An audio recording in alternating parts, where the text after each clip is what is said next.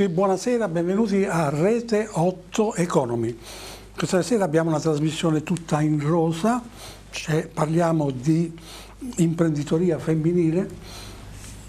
Premetto subito che il conduttore, cioè sarebbe io, sono contro le quote rosa, ma poi sentiremo le dirette interessate, le signore, le imprenditrici. Sono contro le quote rosa, sono per le donne imprenditrici che fanno il loro lavoro come lo fanno i signori uomini. Tutto qui. E dopo aver dato questo inizio, una notizia che all'ora in cui siamo davanti al televisore abbiamo già tutti visto, cioè che la eh, Brexit la Corte, la Corte, Corte di Giustizia ha decretato che potrebbe anche chiedere di ritornare a far parte dell'Unione Europea, cioè sta, ci sono stati un, un gruppo di scozzesi e altre associazioni che erano contro evidentemente l'uscita dalla Gran Bretagna che eh, hanno fatto ricorso e quindi a questo punto tutto è possibile. L'abbiamo voluto dire perché questa è una trasmissione di economia ed è giusto che si sappiano queste cose. Intanto presento gli ospiti di questa sera. A mia destra Stefania Bosco, che è, eh, fa parte, è un'imprenditrice, le storiche cantine Bosco. Quindi abbiamo Silvia D'Alessandro, che è un'imprenditrice, poi ci dirà qual è l'azienda, perché lei è imprenditrice, è direttore del personale, poi è anche amministratore cioè a due aziende lavora, quindi ci dirà molto meglio. Poi abbiamo Sonia Di Naccio, Conf Esercenti, eh, guida un po' la politica della Conf Esercenti, se così vogliamo dire. Daniela Di Berardino, Dipartimento Economia Aziendale, una docente dell'Università di Chieti Pescara. Quindi abbiamo Rita Anechini, che saluto come per le altre ospiti. Eh, Pianeta Moda, poi capiremo di cosa si tratta parlando di Pianeta Moda. La prima domanda, io è un po' di tempo che uso un termine, non vorrei che la gente mi prendesse così per monocorde quando dico anatra zoppa. Siamo quasi vicino al voto del Consiglio regionale e negli ultimi mesi, come è noto, i vari mh, provvedimenti sono quelli ordinari, non straordinari, perché eh, dovrebbe essere la giunta nel pieno delle proprie funzioni, invece siamo in chiusura, è ovvio che molte cose non si possono decidere. Io chiedo a tutte quante le signore presenti di fare un identikit senza dire né uomo né donna né partito, niente, come dovrebbe essere il presidente, il prossimo presidente della regione Abruzzo, visto che voi, ai noi, conoscete tutte le, le problematiche della nostra regione. Incomincio con Stefania Bosco. Eh, bella domanda. eh, che dire, sicuramente insomma, ci aspettiamo tanto che la Regione, eh, penso che un po' tutti quanti ce ne rendiamo conto, è ferma. È ferma, beh, abbiamo avuto tante disgrazie indubbiamente, dai terremoti, alluvioni, insomma a livello mm, eh, insomma, eh, di, di, di natura veramente tante, però a livello economico secondo me non ancora facciamo quel passo in avanti che per dire le marche hanno già fatto Secondo me io, io mi considero il nord del sud come regione, come posizione e quindi secondo me la dirigenza, la, la, insomma, la nuova dirigenza dovrebbe veramente prendere in mano le redini di, senza stare veramente a guardare i colori, le persone e, e dare veramente uno schiaffo a questa regione e riportarla insomma, a quello che dovrebbe essere. Grazie. Sentiamo la signora D'Alessandro, Silvia D'Alessandro. Sì, ma io mm, mi ricongiungerei a quello che ha detto la mia collega Stefania Bosco mi ricollegherei a quello che ha detto lei, cioè tanto, che caratteristiche deve avere il Presidente piuttosto che cosa dovrebbe fare, cosa ci aspettiamo che facesse, forse un po' la risposta sta un po' nell'uno e nell'altro. Di sicuro deve essere una persona in grado di aggregare, perché comunque in questo momento la nostra regione è dispersa tra Um, opinioni differenti che di sicuro stanno indebolendo tutto quanto il sistema economico e sociale decisamente sfallato a rischio poi delle comunità minori.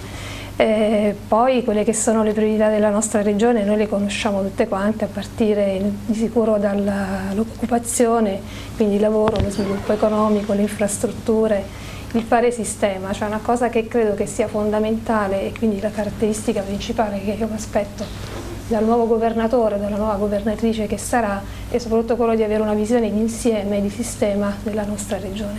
Grazie signora Alessandro. Eh, signora Di Narcio. Eh, guardi, dottor Labarile, ehm, oggi un, un, candidato o una candidata ehm, si trova di fronte ad una situazione molto particolare, molto complessa, molto complicata e anche eh, difficile per il nostro territorio. Eh, io credo, e lo diceva prima la collega, che eh, penso che quello sia proprio l'atteggiamento vincente, quello di avere oggi un atteggiamento di insieme, eh, la capacità di ehm, visualizzare le molteplici problematiche che ha il nostro territorio e di trovare delle soluzioni che possano essere da traino per le nostre imprese, per uh, i nostri lavoratori e per diciamo, il territorio nella sua interezza. Dovrebbe essere una persona mh, che, mh, che ha anche la capacità di mettere un punto rispetto al passato e di rappresentarsi eh, anche in Italia come una persona che eh, lavora sulla eh, competenza, mh, la gentilezza. Per me oggi un, uno dei valori più importanti resta la gentilezza perché eh, quello che vediamo anche a livello nazionale è sconvolgente in alcuni casi, una politica che si fa su Twitter, si fa su social network, noi invece abbiamo bisogno di qualcuno che sappia parlare con le persone, che sappia parlare anche tanti linguaggi, che sappia adeguare il proprio linguaggio alle necessità di un territorio complesso come quello nostro. Grazie, professoressa. Ma eh, condividendo molto di quello che hanno detto anche le altre ospiti, io aggiungerei che deve essere un leader lungimirante eh, capace di pensare che questa è una regione che può crescere e non, eh, sebbene le difficoltà odierne possano spingere a focalizzarsi troppo su quello che va risolto nel breve, bisogna avere anche la capacità di poter rilanciare, porre le basi per rilanciare questa regione verso una crescita solida nel futuro. Questo richiede lungimiranza, richiede capacità di fare rete, ma non solo a livello locale, ma anche a livello internazionale, perché la crescita appunto se domestica è limitata, eh, ha una durabilità piuttosto limitata, oltre a, e qui non, credo che non, di non essere ripetitiva, a salvaguardare e fare propri eh, come leader una serie di valori morali che penso debba avere chiunque amministri la cosa pubblica. Grazie, signora Chini. Sì, io condivido moltissimo appunto di quello detto dalle eh, dalle ospiti. Eh, ovviamente quello che eh, mi auguro è soprattutto che sia un Presidente attento ai giovani, senza sottovalutare il, la nostra grande cultura che abbiamo in tantissimi ambiti e che ehm, diciamo, mh, porti l'Abruzzo a eh, un'espressione internazionale che merita, eh, secondo il mio punto di vista, perché noi abbiamo dei settori importantissimi e che eh, ci viene riconosciuto da mercati internazionali, però siamo ancora fermi, eh, c'è tanto da fare e quindi ehm, mi auguro veramente che questo nuovo governatore eh, sia in grado di eh, poter pensare all'Abruzzo in una forma eh, internazionale e di aggregazione. Grazie, grazie, grazie. Allora, esiste una connessione tra partecipazione femminile al mercato del lavoro e l'economia. la, parità, la parità di genere fra gli occupati potrebbe incrementare il prodotto interno lordo in Europa del 13%. C'è un studio della Banca d'Italia ha calcolato che se il nostro Paese riuscisse a raggiungere l'obiettivo di Lisbona dell'occupazione femminile al 60%, il PIL italiano crescerebbe del 7%. È evidente che bisogna utilizzare meglio la risorsa rappresentata dalle signore, dalle donne. Eh, Stefania Bosco. Ma, eh, prima parlavi di quota rosa, no? eh, questo secondo me è uno scoglio veramente enorme per l'Italia. Io cioè, credo che con la crisi economica l'assunzione del insomma, settore femminile sia andato ai minimi storici e quindi credo insomma, che tornare, cioè avere questa visione futuristica sia veramente un sogno un po' per tutti quanti. Indubbiamente potrebbe essere un, uh, so, un'arma in più per, eh, per l'economia nazionale insomma, da vendersi eh, per poter incrementare effettivamente la, la nostra situazione attuale. Però i dati purtroppo sono molto... Cioè ritiene che ancora in Italia ci sia un certo svantaggio da parte delle donne? Sì. Sì. sì.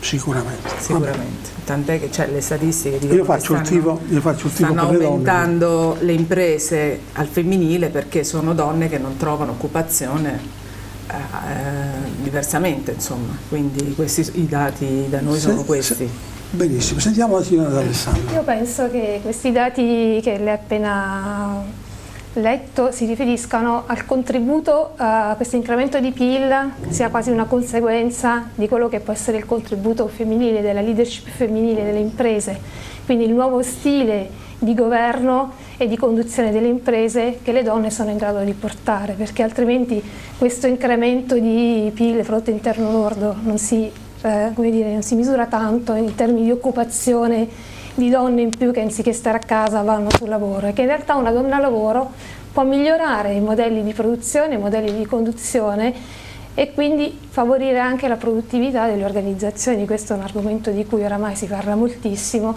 e quindi una serie di valori che sono fortemente femminili come la condivisione, l'ascolto, la resilienza portate all'interno dell'organizzazione, soprattutto nella gestione delle persone che sono quelle che fanno i risultati delle aziende, di sicuro portano ad incrementare i risultati aziendali, quindi questa è una cosa in cui io credo fortemente, quindi la mia testimonianza qui oggi è anche come dire, ad avvalorare la presenza femminile nei ruoli di governance. Poi ci torniamo. Eh, Signora Di Naccio, lei che così come dice, guida un po' la politica di Confesercenti, eh, cosa ne pensa?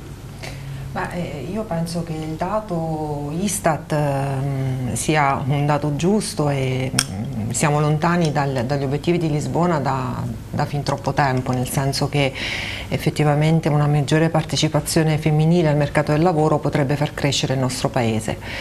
Ehm, le, le, donne hanno due difficoltà oggi, sia quello, trovare, quello di trovare occupazione, eh, per cui spesso l'autoimpiego la, risulta essere la strategia vincente perché non si riesce a trovare occupazione da lavoratrice dipendente, ehm, e sia quello della qualità dell'occupazione femminile, cioè non, se, non, sempre le donne hanno una qualità della propria occupazione ehm, che sia paragonabile a un lavoratore di genere maschile.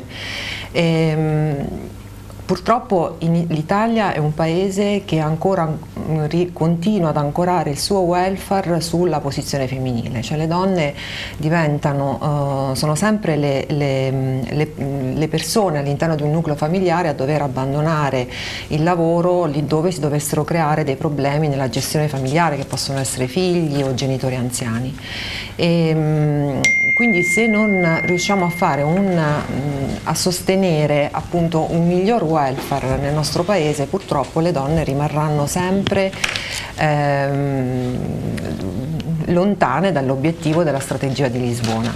Ehm, l'altro giorno insieme ai, ai nuovi dati sull'imprenditoria femminile Union Camere ci diceva che ehm, ha fatto un'analisi proprio sulle posizioni ehm, da leader, cioè delle, nelle, nelle, grandi aziende delle donne e sostiene che su uh, 4 Chi fatto questo? Uh, Union Camere, Union Camere. su 4 milioni di uh, diciamo, dirigenti ehm, delle aziende italiane soltanto al di sotto del 25% si collocano le donne e, e, questo è strano perché noi sappiamo, e qui c'è anche una, eh, un esponente dell'università, che le donne sono eh, delle bravissime studentesse, si laureano più degli uomini eppure continuiamo ad avere ehm, imprese che sono per lo più diciamo, guidate da uomini.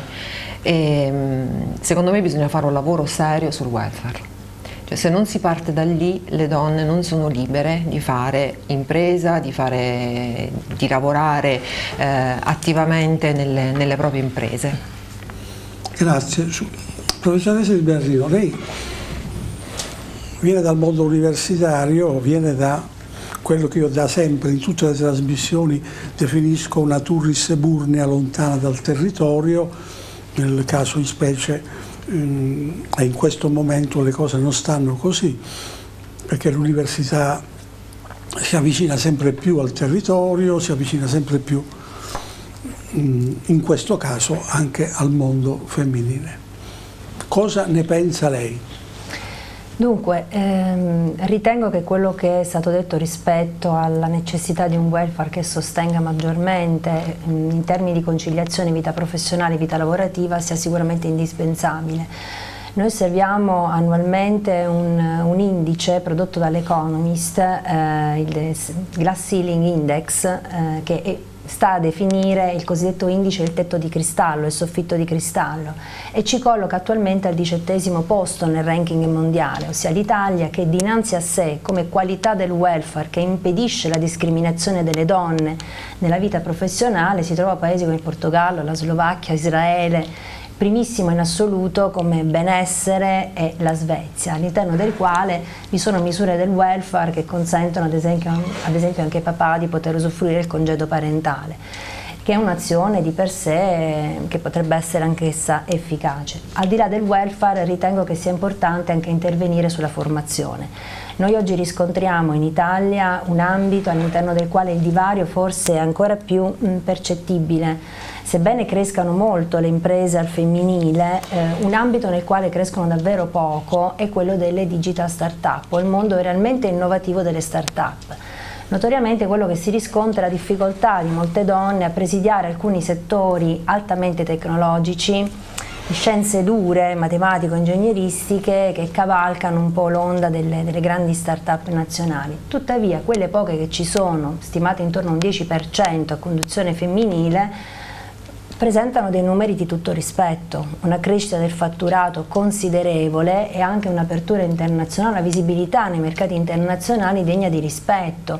Riviste come Fortune eh, classificano tra i primi dieci anche start-up italiane, quindi questo ci fa riflettere sulla necessità di intervenire nella formazione nella formazione, cercando proprio di eh, arricchire non solo alcune competenze che magari trasversali a volte non sono adeguatamente stimolate, su questo chiamo in carica noi enti di formazione, come ad esempio la leadership. Noi abbiamo eh, competenze relazionali di comunicazione che messe a sistema con una buona dose di assertività e di leadership davvero riescono a condurre, soprattutto in tempi di difficoltà, un'impresa a superamento no, di alcuni scogli. Questo è quello che ci dicono gli studi sul tema, ma dall'altro è importante anche potenziare alcune skills un po' più tecniche Notoriamente, eh, questo è emerso anche dal primo bilancio di genere che il nostro Ateneo ha pubblicato, siamo il primo Ateneo che in Abruzzo ha pubblicato un bilancio di genere fotografando la situazione.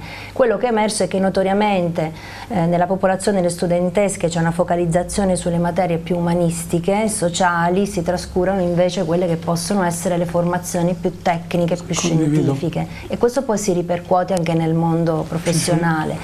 E l'altro aspetto, lo dicevate prima, le ragazze si laureano prima, conseguono voti più alti, osservando la loro condizione occupazionale a 3-4 anni dall'ingresso al mercato del lavoro, hanno un tasso di occupazione più basso, una retribuzione media più bassa rispetto ai colleghi maschi, quello che osserviamo anche all'interno poi della pubblica amministrazione è ancora la presenza di una piramide rovesciata, c'è una base fertile di, eh, di, forza lavoro femminile e un vertice, i ruoli apicali restano ancora appannaggio dell'uomo. Dell benissimo, benissimo. Allora, Signora Chini, no, sì. io la devo, devo, chiedere prima la pubblicità sì, perché perfetto. la regia è molto severa. Pubblicità e poi riprendiamo con la signora Necchini. Bene, ritorniamo dagli studi di Rete 8, Rete 8 Economy, stiamo parlando di imprenditoria femminile, infatti le, le, gli ospiti di questa sera sono tutte delle signore, cortesissime signore con incarichi precisi, cioè donne che lavorano e che lavorano sul serio.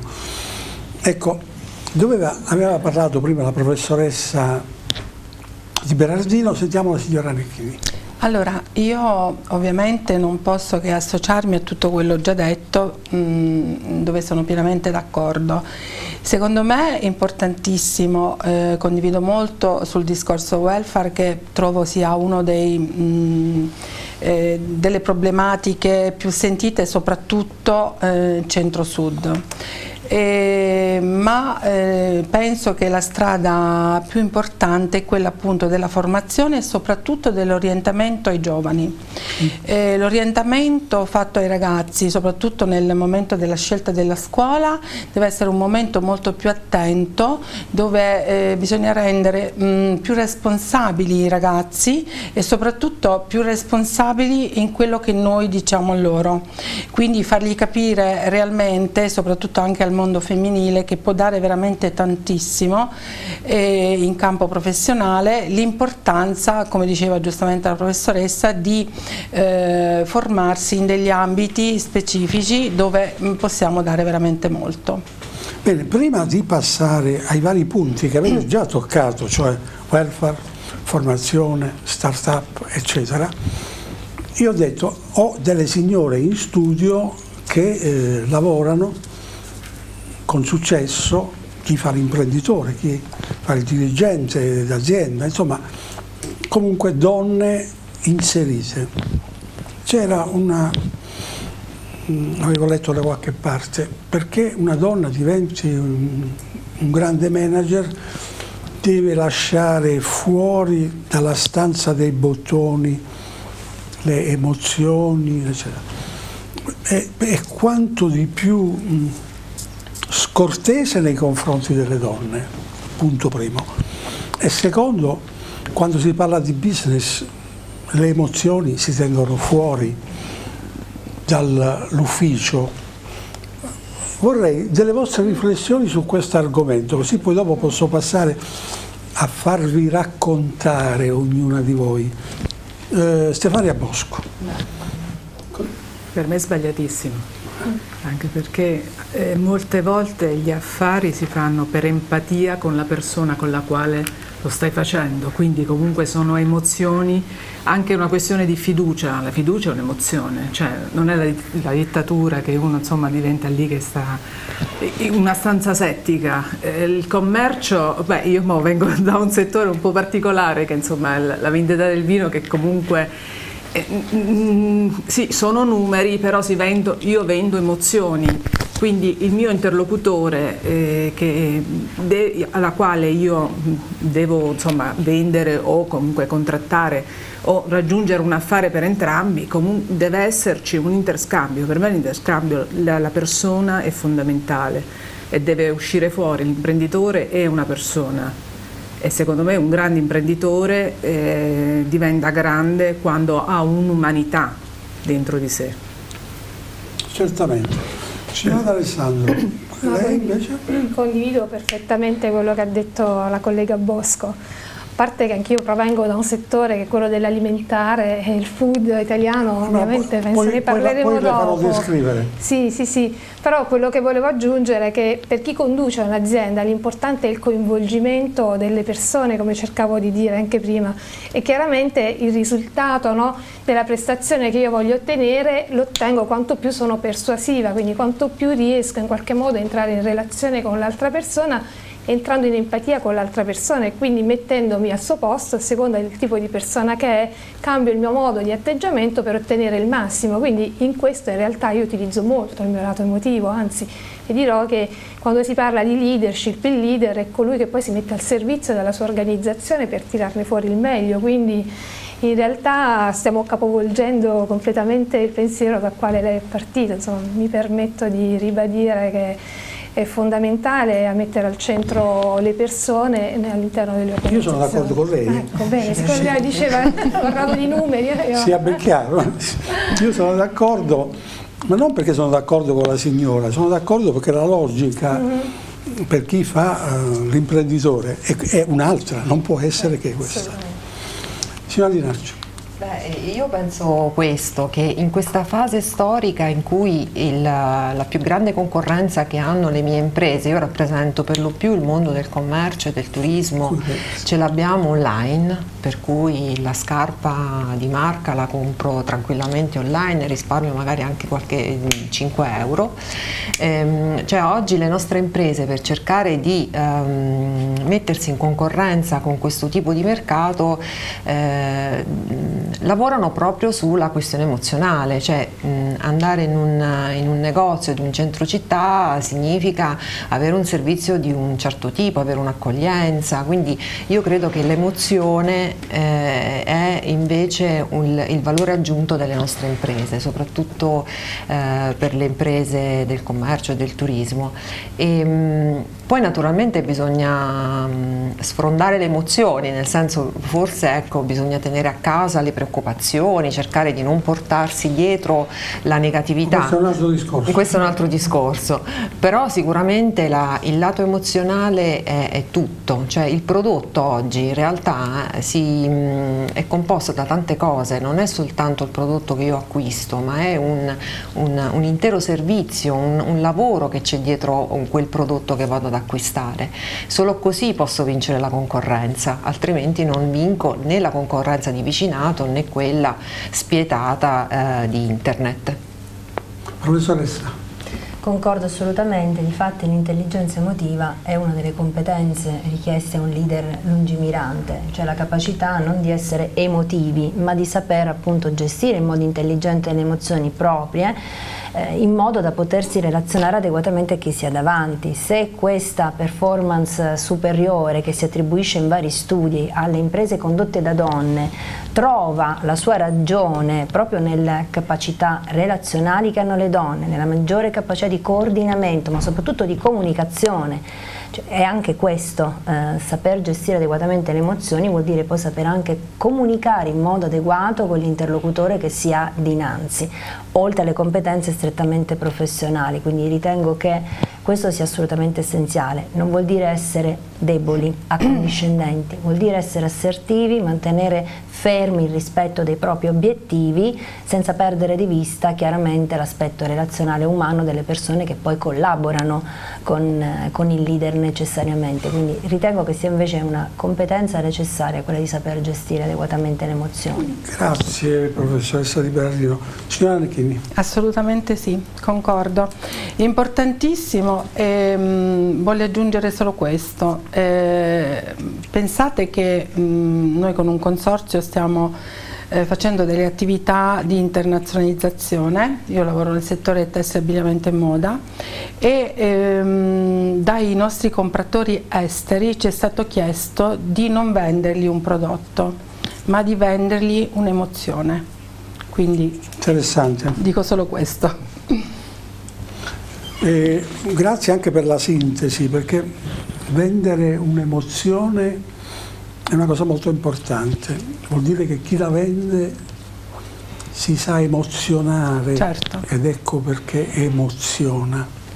Quindi mi sembra molto molto interessante, molto importante. Bene, adesso quale miglior testimonial di se, del lavoro che uno fa? Testimonial per chi è a casa e per chi giovane in particolar modo avesse in mente di diventare imprenditore, in questo caso imprenditrice, visto che stiamo parlando di eh, donne, stiamo parlando di imprenditoria femminile. Si descriva Stefania Bosco,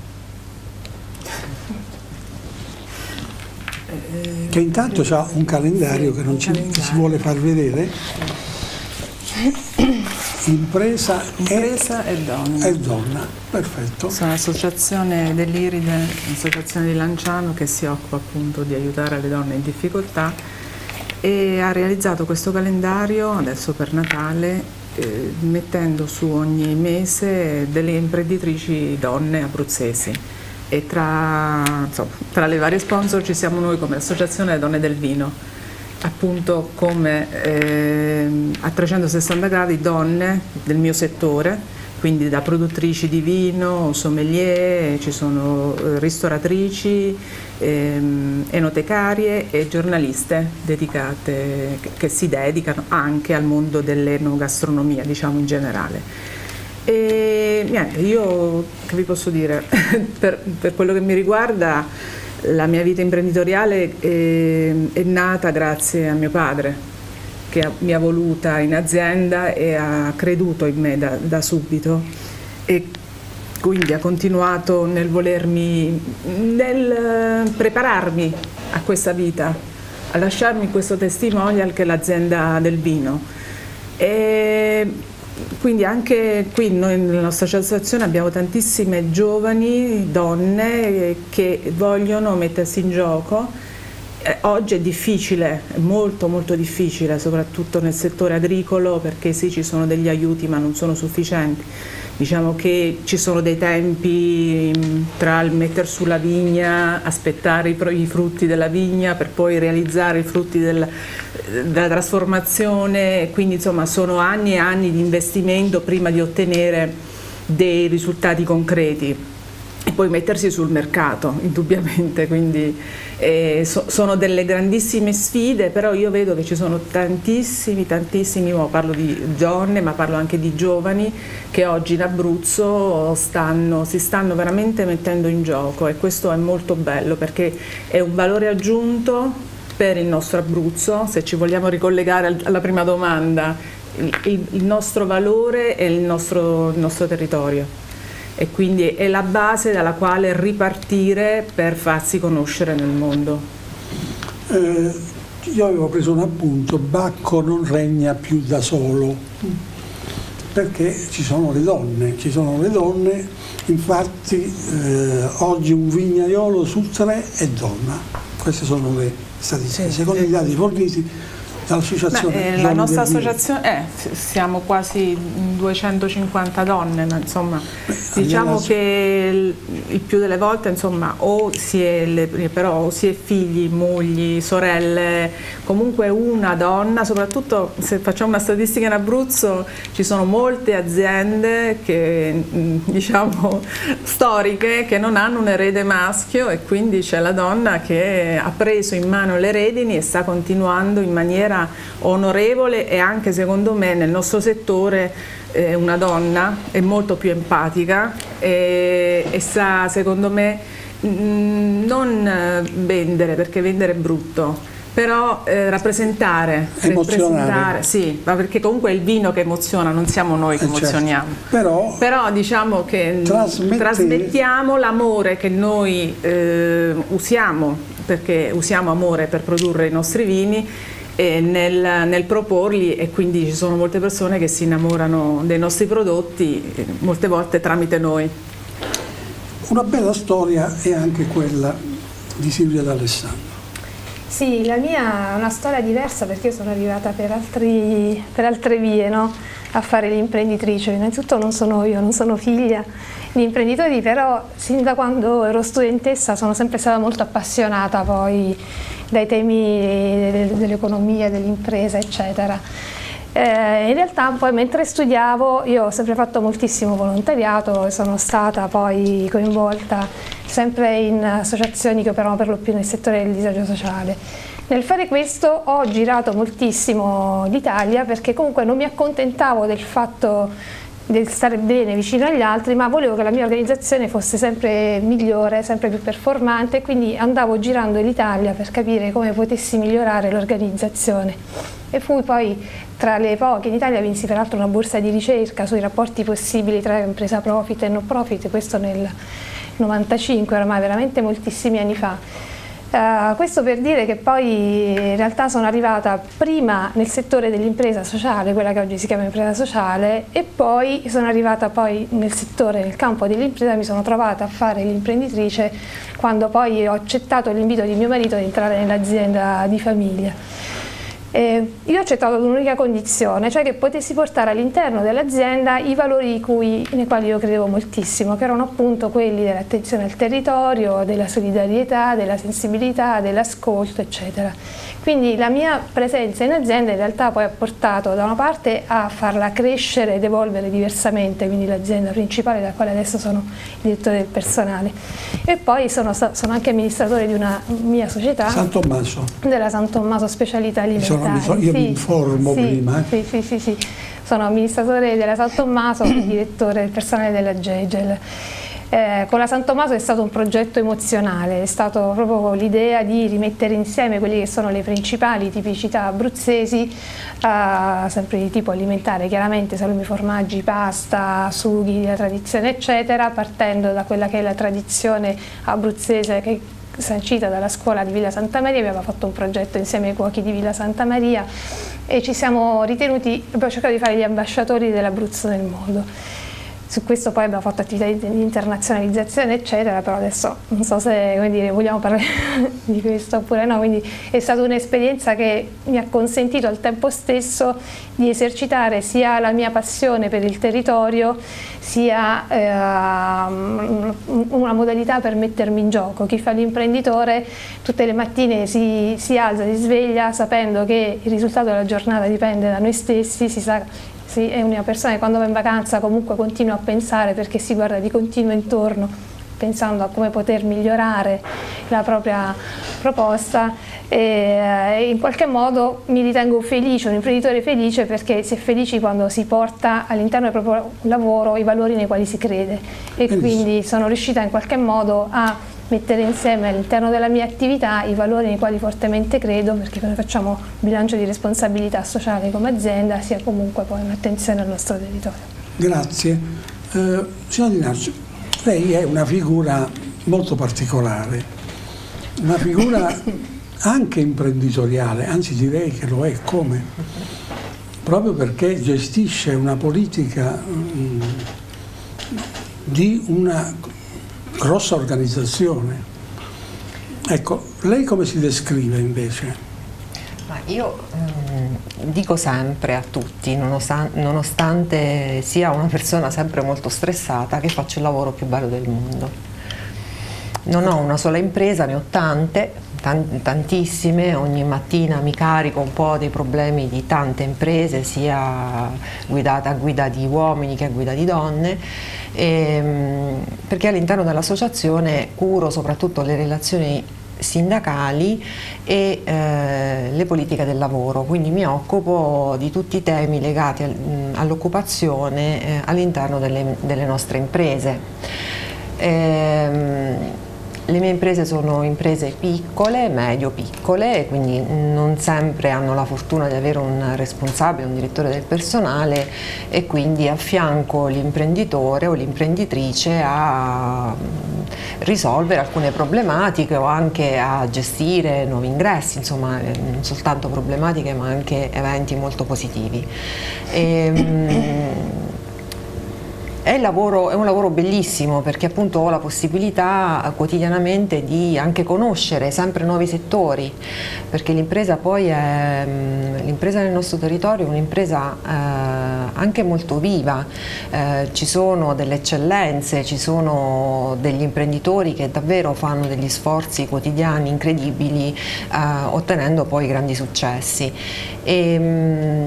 All'interno poi di, diciamo, di questa attività professionale svolta quotidianamente mi occupo moltissimo di donne, incontro tante donne che si ritrovano spesso, le, le, donne che fanno riferimento ad un'associazione di categoria sono spesso donne fuoriuscite dal mondo del lavoro che hanno avuto dei problemi di cura, cioè si sono dovute occupare magari della famiglia perché hanno avuto dei bambini e eh, si avvicinano all'associazione soprattutto per eh, creare impresa tra i 40 e i 50 anni. Diciamo che ogni giorno incontro donne che hanno questa necessità in un periodo molto complicato della loro vita, ehm, ma eh, ciò che è straordinario poi è trovare anche insieme delle soluzioni, cioè ci sono comunque eh, delle strategie che si possono attivare, anche sul Fondo Sociale Europeo negli ultimi, negli ultimi mesi c'è stato un fermento, ci sono delle attività che si possono svolgere, e ciò che è necessario è eh, trovare delle, delle persone che possono affiancare anche queste queste donne che si ritrovano eh, magari dopo un lungo periodo eh, fuori dal mondo del lavoro a dovervi rientrare. Grazie. Adesso sentiremo la professoressa, però c'è il solito, la regia che mh, mm, mi chiede la pubblicità e mi dice anche, mi fa sapere anche quanto manca. Grazie, Massimo Pacilio. Bene, ritorniamo qui dagli studi di Rete 8, Rete 8 Economy, stiamo parlando di imprenditoria femminile, lo stiamo facendo con eh, imprenditrici, mm, con donne che sono inserite nel mondo del lavoro. Bene, Aveva, abbiamo sentito la signora Zinaccio, professoressa di Bernardino. Beh, che dire, io sono anch'io mi ritengo privilegiata nel ruolo che rivesto in quanto eh, una, la mia è una professione nella quale posso mettere in pratica quegli strumenti che consentono una certa flessibilità del lavoro, uno smart working, che quindi mi consente di poter conciliare, eh, non senza fatica, ma riesco a conciliare eh, diversamente. No? E, e l'altro aspetto assolutamente entusiasmante del mio lavoro è la possibilità di avere anche la responsabilità eh, di formare delle menti, o meglio di tirare fuori eh, dalle menti quelle capacità che ci sono, di renderle visibili per consentire davvero a, ai ragazzi di trovare il loro percorso. Eh, nel mio contesto lavorativo il soffitto di cristallo sussiste, lo accennavamo prima, e questo è, non è invalicabile, eh, difatti comunque lentamente nelle posizioni apicali noi vediamo le donne che riescono a crescere. Questo è frutto però di una cultura nazionale che deve essere superata nel medio-lungo termine, sicuramente non nel brevissimo. Quello che mi conforta è lavorando in un ambito eh, nella formazione di materie economico-aziendali quello che mi conforta è vedere sempre più tra i miei studenti invece una maggiore propensione all'imprenditorialità anche da parte delle donne. Ci sono molti più spaccati di vita che possiamo offrire forse come testimonianze aziendali rispetto a dieci anni fa e quando c'è un conforto di una testimonianza aziendale di una donna che riesce efficacemente no, a realizzarsi professionalmente questo dà stimolo e sicuramente diventa anche un punto di riferimento che incoraggia. Rispetto a molti anni fa quello che vedo è nei sogni del, degli studenti forse una maggiore propensione alla creazione di impresa rispetto al passato e, e questo mi conforta in maniera equa sia uomo che donna. L'altra cosa che mi conforta è talvolta vedere forse eh, il fatto di non, così, di non, ritenere così necessario parlare delle quote rosa di cui parlavamo prima. Ecco, quella famosa legge 2011 Golfo Mosca che imponeva nelle società quotate, nei CDA delle quotate la presenza di donne. È stata vista male perché in realtà era eh, vista come ecco, senza di questo non c'è speranza. E non è così, difatti quello che noi cogliamo nelle giovani generazioni è meno stereotipizzazione, non si, non si reputa importante impossibile per una donna, per una ragazza poter arrivare a fare un certo tipo di percorso.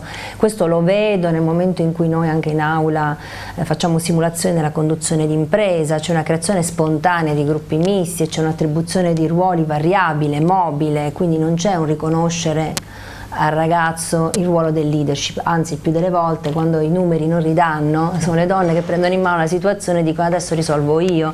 Questo è il riflesso di quello che noi riscontriamo anche nelle, negli studi scientifici sul tema. Eh, le imprese delle donne a livello mondiale, poi i campioni, i campioni dipendono, ma in alcuni campioni emerge che l'impresa femminile va meno in crisi rispetto a quella maschile perché in modo innato c'è una minore propensione a al rischio di per sé, c'è una gestione più accurata, più attenta anche dell'aspetto finanziario e quindi nel medio-lungo nel medio-lungo termine c'è meno turbolenza. Abbiamo battuto definitivamente l'idea iniziale sulle emozioni in ufficio. Signora Anechini. Allora, io... Siamo quasi in chiusura. Sì. Mi sembra strano, ma avete parlato un'ora. Siamo donne. Siamo donne. Vabbè, sarò molto breve. Non detto. Non Anche perché detto... sono sempre l'ultima a parlare, hai già detto no, tutto, quindi no, aggiungo detto, giusto qualcosa. ma io non l'ho detto solo per un fatto di cortesia, prego. Allora, vabbè, innanzitutto io eh, penso questo, che il successo è legato al coraggio. No. E noi donne di coraggio ne abbiamo. Ma lei tanto. si descriva però. Sì, io mi descrivo. Allora, sono innanzitutto il presidente della Fashion Academy Pianeta Moda, è una società tutta al femminile, siamo tre socie, è nato eh, circa vent'anni fa con l'imprenditoria femminile. Quindi con questo aiuto regionale che ritengo sia veramente un, un ottimo aiuto per tutte le donne che hanno un progetto valido. Io non provengo da una famiglia di imprenditori, non ho una storicità, ma eh, la nostra impresa, io mh, voglio pensare oggi che la nostra storia, la storia di questa impresa la stiamo scrivendo noi, adesso, oggi, in questo momento. Abbiamo inserito anche figli e quindi già eh, stiamo aprendo altre sedi, quindi mi auguro che la stiamo scrivendo in questo momento la storia. E tutto nasce dal sogno di una bambina, punto, di voler assolutamente lavorare nel settore del test abbigliamento e moda. Oggi siamo un riferimento in tutta la nazione, sia per quanto riguarda la consulenza nel settore della progettazione, noi seguiamo 18 brand e ci occupiamo di formazione professionale, siamo un organismo di formazione accreditato in questo settore. Lavoriamo con i giovani e quindi mi ritengo una persona molto giovane, sempre eh, super aggiornata, proprio perché stare a contatto con i ragazzi significa essere vivi e faccio il lavoro che ho scelto di fare. Non poteva dirlo meglio, signora Necchini, lo ha detto in maniera... Breve e concisa. io, io vorrei chiudere su due argomenti. Formazione, che è una parola magica, e il consiglio che loro danno a chi vuole intraprendere un'attività imprenditoriale. Formazione. Formazione, io c'è la, la, la, professoressa qui che penso che sia più in grado di noi, qui è fondamentale. Sì, no, oggi è fondamentale essere preparati, cioè, a parte che i ragazzi lo sono, io vedo insomma i nipoti, mia figlia, insomma seguo anche un po', faccio come Rita, mi sento giovane perché ho i ragazzi sotto di me che insomma seguo e sono preparati, vogliono essere informati, è diverso, non vanno allo sbaraglio, vogliono essere sicuri di quello che fanno, vogliono essere informati, vogliono essere partecipi, quindi io credo molto nelle nuove generazioni, quindi la formazione c'è, c'è, nel senso se un ragazzo ha volontà di studiare eh, le, le, possibilità ce l'ha, eh, in questo lo credo. Lo stesso cosa per, per, il nostro discorso, bisogna essere preparati perché per aprire un'azienda del settore agricolo, vivicolo, bisogna essere per forza preparati eh, inevitabilmente. inevitabilmente. Eh, Sì, il tema della formazione che a me è molto a cuore, peraltro mi veniva da pensare che eh, ritengo che sia così importante e contagiosa che noi in azienda abbiamo messo su una Cooking Academy, proprio perché la formazione è importante non soltanto per noi, ma vogliamo proprio contagiare i nostri clienti, i nostri agenti, i nostri venditori, proprio si devono appassionare del lavoro che facciamo. Contagiateli. messo su, stiamo facendo questo esperimento ma che sta avendo un grandissimo successo. Poi nella cucina a volte ci si esercitano anche con mh, tecniche no, di formazione, che conoscete senz'altro, no? che sono poi sia su competenze tecniche sia su competenze di tipo trasversale, no? che sono quelle della condivisione, del lavorare in squadra, eccetera. Quindi eh, è fondamentale. Per eh, una ragazza, che, una giovane che oggi si appresta al mondo del lavoro, io dico soprattutto di avere molta fiducia in se stessi, di avere molta tenacia, molta costanza.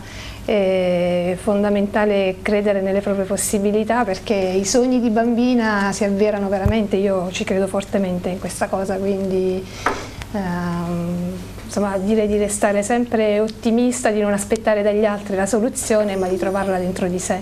Grazie alla dottoressa mm. D'Alessandro. Ehm, dottoressa Di Naccio. Eh, guardi, io stasera sono contenta di essere qui perché insomma eh, tutte voi avete detto cose molto mm, importanti. La professoressa ha espresso tante volte dei concetti che io vivo tutti i giorni, forse dovremmo collaborare di più perché magari lei ci, ci mette la parte, l'ha espressi benissimo, un linguaggio appropriato, eh, cose che io sento ogni giorno. Lei oggi ha parlato più volte di competenze relazionali, competenze professionalizzanti e sulla formazione io credo che non dobbiamo mai dimenticare per esempio le competenze eh, trasversali, quelle relazionali, su cui spesso per esempio ehm, anche dal punto di vista proprio dei finanziamenti regionali si investe poco perché la competenza professionalizzante che va sempre aggiornata e tenuta ehm, con cura, insomma sempre approfondita, è fondamentale, però la competenza trasversale e relazionale è quella che ci consente di, fare, di avere un'impresa di successo, perché la, le competenze trasversali sono quelle che ci aiutano a vivere meglio e quindi a portare al meglio avanti la nostra impresa. E, ehm, Consiglio alle, alle, donne, lo do adesso, lo diamo dopo? Lo diamo adesso. Il consiglio è prendervi del tempo, eh, non fare mai dei, mh, delle scelte azzardate, è vero che ci sono dei sogni che bisogna portare avanti, però taccuino alla mano, bisogna fare i conti, eh, io riporto sempre tutta la realtà, tante volte mando tan tante donne indietro dal mio ufficio perché ritengo che eh, l'idea imprenditoriale debba ancora essere sviluppata meglio, perché il mercato è un mercato eh, complesso, molto performante e quindi bisogna presentarsi al meglio sul mercato. Quindi formazione anche per fare nuova imprenditoria. Grazie, professoressa Ribellino.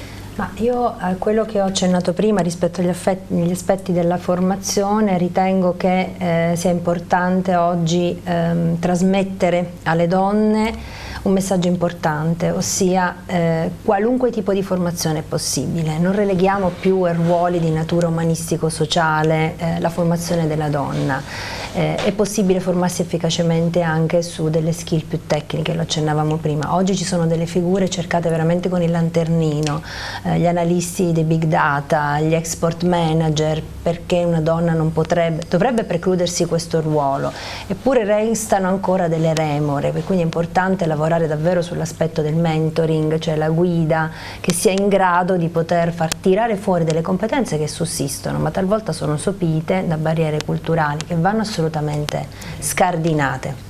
Benissimo, signora Rechini, allora. Per me la formazione è fondamentale, nel senso che eh, ritengo che la formazione sia indispensabile per affrontare qualsiasi tipo di lavoro eh, dal più semplice a quello più articolato e più complesso. E, e poi mh, soprattutto fare cultura della formazione è fondamentale, eh, riuscire a far capire a tutte le donne ma anche agli uomini che la formazione è un qualcosa che deve ehm, essere partecipe nella nostra vita sempre, non solo in un momento storico della nostra vita, noi siamo sempre in formazione e dovremmo essere sempre in formazione per essere adeguati mondo, nel mondo del lavoro. Quindi la formazione è parte della nostra vita, quindi ritengo che sia importante eh, fare soprattutto cultura, cultura intesa come riuscire a trasferire un messaggio chiaro che faccia capire a tutti che è fondamentale eh, essere dietro i banchi di scuola sempre e non pensare che siamo arrivati e siamo i più bravi. Eh, regia posso chiudere o si è proprio fine? Non l'avevo capito. Però due parole alla signora Bosco, cosa consiglia ai giovani? Ma, eh, prendere consapevolezza del loro per dare agli altri. Grazie per la sintesi, grazie alle ospiti di questa sera. È stato un salotto interessante, un salotto che sicuramente ha emozionato tanto per usare questo leitmotiv che abbiamo avuto per tutta la trasmissione, abbiamo abbattuto false idee iniziali e quindi a questo punto possiamo chiudere. Io ringrazio Stefania Bosco, eh, ringrazio la signora Silvia D'Alessandro, Sonia Dinaccio, la, la professoressa di Berardino, e la signora Lecchini. Grazie. Vi ringrazio particolarmente perché avere tutte donne, prima si scherzava dicendo avete parlato già un'ora, eh, ma siamo donne. No, non è vero, siete donne che hanno da dire qualcosa di interessante. Grazie ai telespettatori, felice sera a tutti, arrivederci.